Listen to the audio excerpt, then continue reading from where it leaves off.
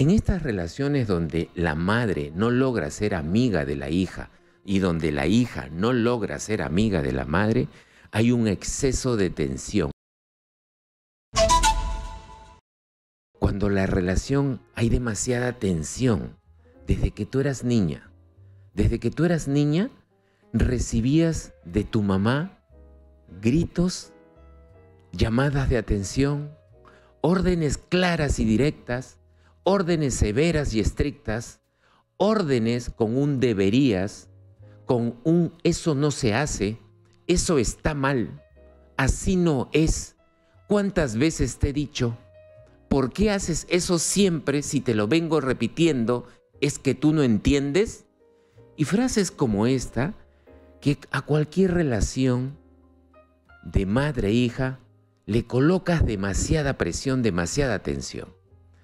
En estas relaciones donde la madre no logra ser amiga de la hija y donde la hija no logra ser amiga de la madre, hay un exceso de tensión, hay, un, hay abundancia de ansiedad.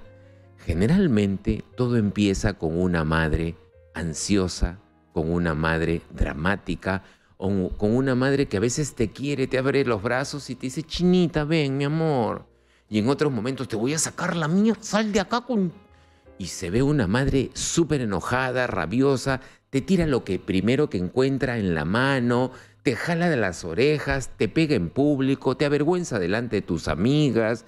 Es decir, la madre está tan ansiosa y tan tensa porque tal vez tenga problemas con el marido, porque tal vez no es feliz con el esposo, porque tal vez no tenga plata, porque tal vez tiene demasiados hijos y a veces ella se queda sin comer, o porque tal vez tenga demasiada responsabilidad y demasiada carga sobre sus hombros, pero sea lo que sea, es una madre tensa. Sea el origen noble, voy a trabajar por estos mis cinco hijos y me voy a sacar el ancho y voy a lavar, planchar, cocinar, seré ama de, empleada, seré taxista, eh, lavaré ropa ajena, limpiaré casa ajena, lo que tú quieras. Ese es, ese es el motivo de la tensión. Ese es el motivo por lo que paras apurada, tensa, gritas, no, te sientes resentida, te sientes que reniegas. Ese es el motivo. Tienes buenas intenciones para tu hija porque tú dices, voy a sacar a mis hijos adelante. Yo quiero que todos vayan al colegio, yo quiero que no le falte nada. Ese es un motivo noble. Pero ese motivo noble te ha convertido en una persona apresurada, ansiosa, tensa, que párate, apúrate, levántate, ya, vamos. Y la hija vive a sobresaltos. La hija empieza, en lugar de tener confianza, empieza a tenerte miedo.